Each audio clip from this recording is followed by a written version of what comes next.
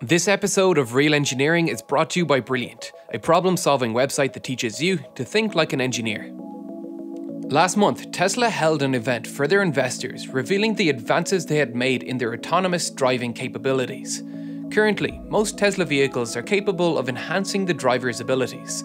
It can take over the tedious task of maintaining lanes on highways, monitor and match the speeds of surrounding vehicles, and can even be summoned to you while you aren't in the vehicle.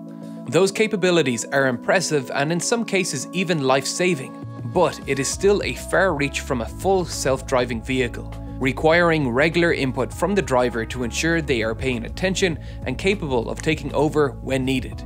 There are three primary challenges automakers like Tesla need to overcome in order to succeed in replacing the human driver. The first of those is building a safe system. In order to replace human drivers, the self-driving car needs to be safer than the human driver.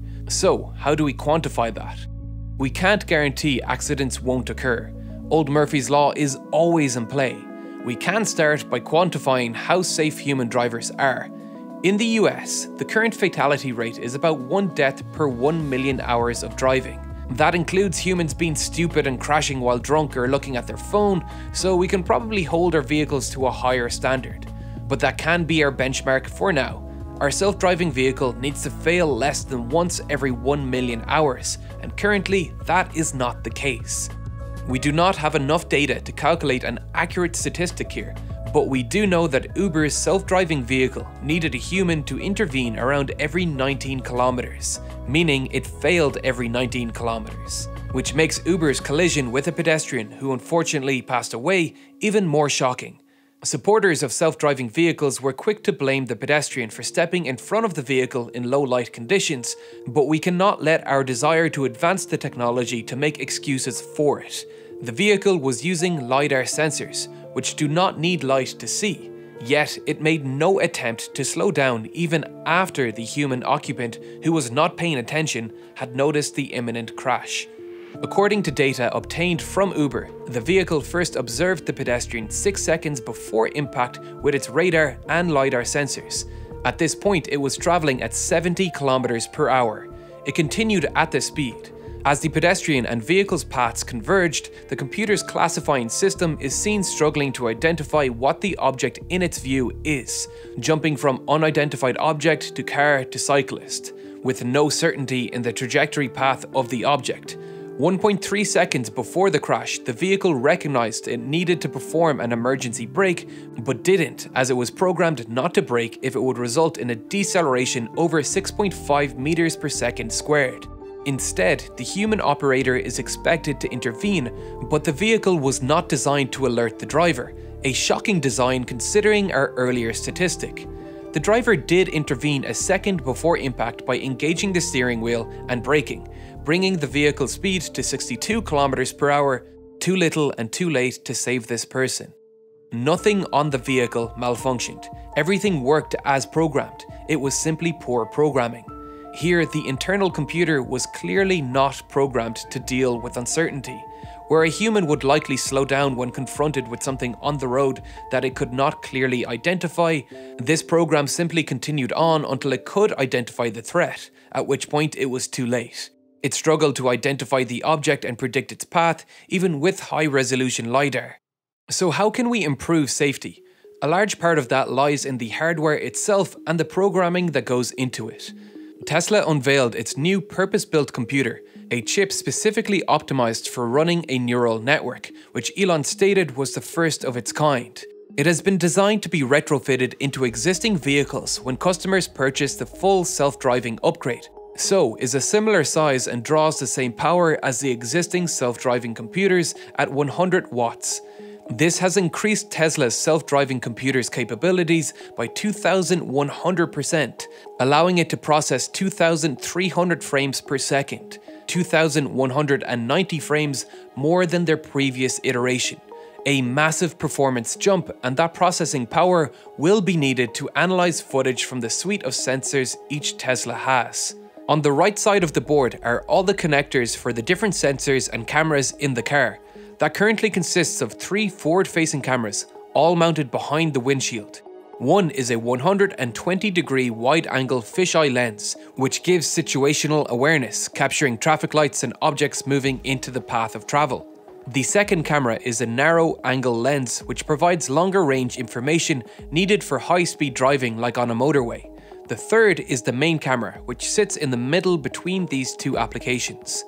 There are four additional cameras on the sides of the vehicle, which check for vehicles unexpectedly entering your lane and provide the information needed to safely enter intersections and change lane. The eighth and final camera is located to the rear, which doubles as a parking camera, but has also saved more than a few Teslas from being rear-ended. The vehicle does not completely rely on visual cameras. It also makes use of 12 ultrasonic sensors, which provide a 360 degree picture of the immediate area around the vehicle, and one forward facing radar. Finding the correct sensor fusion has been a subject of debate among competing self driving companies. Musk recently stated that anyone relying on LiDAR sensors, which work similarly to radar but utilize light instead of radio waves, is doomed and that it's a fool's errand. To see why he said this, let's plot the strengths of each sensor on a radar chart like this, where we rank each feature on a scale of 0 to 5, 5 being the best and 0 being non existent. LiDAR would look something like this. It's got great resolution, meaning it provides high detail information on what it's detecting, works in low and high light situations, is capable of measuring speed, has good range and works moderately well in poor weather conditions. Its biggest weakness, however, is why Musk slated it. The sensors are expensive and bulky, and this is where the second challenge of building a self-driving car comes into place. Building an affordable system that the average person will be willing to buy. LiDAR sensors are those big sensors you see on Waymo, Uber, and most competing self driving tech. Musk is more than aware of LiDAR's potential. After all, SpaceX utilizes it in their Dragon Eye navigation sensor. Its weaknesses are simply too much of a sticking point for Tesla for now, who are focused on building not just a cost effective vehicle, but a good looking vehicle. LiDAR technology is gradually becoming smaller and cheaper, making the technology more accessible but far from cheap. Waymo, a subsidiary of Google's parent company, Alphabet, sells its LiDAR sensors to any company that does not compete with its plans for a self driving taxi service.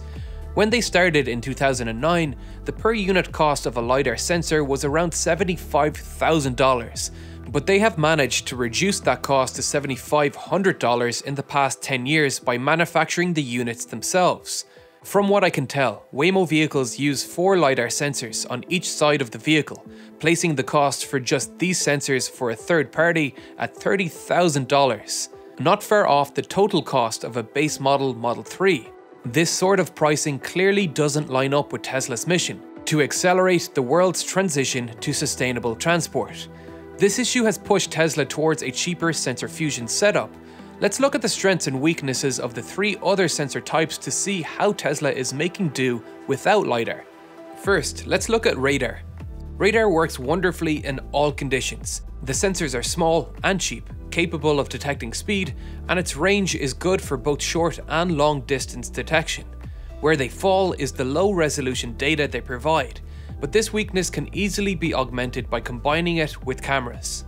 Regular video cameras look like this on our radar chart, having excellent range and resolution, provide colour and contrast information for reading street signs, and are extremely small and cheap.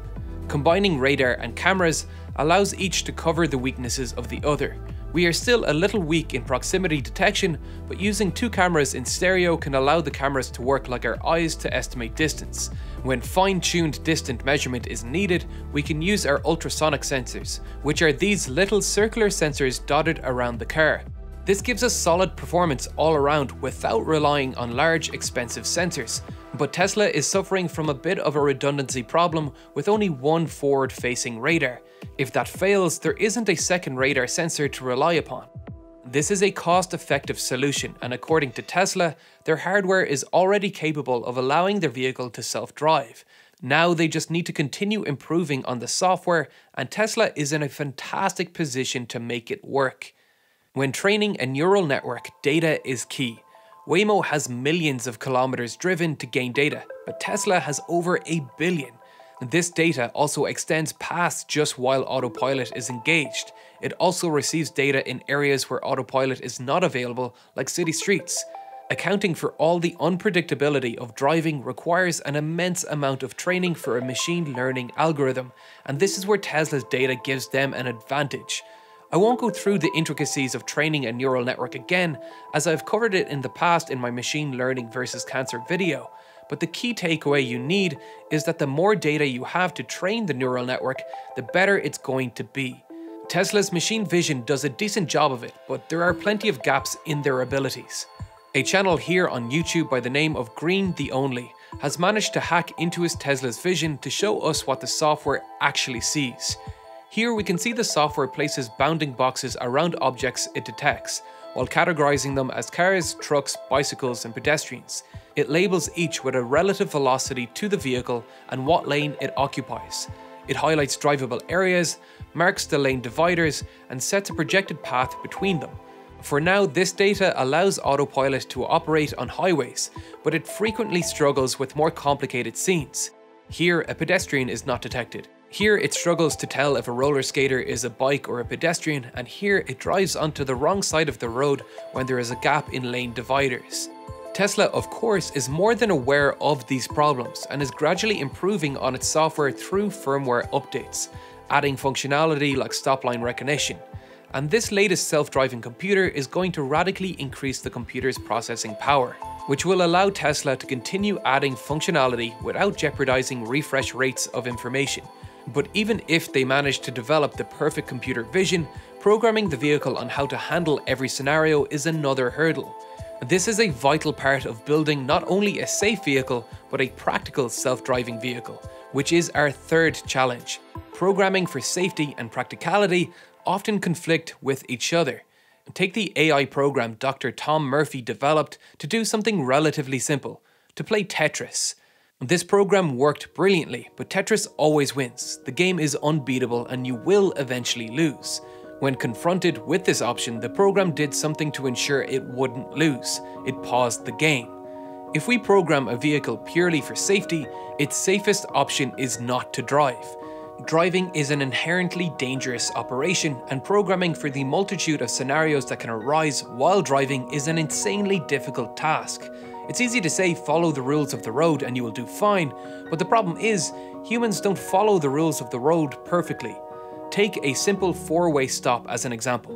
The rules of the road make this seem like an easy task. The first person to arrive at the intersection has the right of way, and in the case that two vehicles arrive at the same time, the vehicle to the right has the right of way.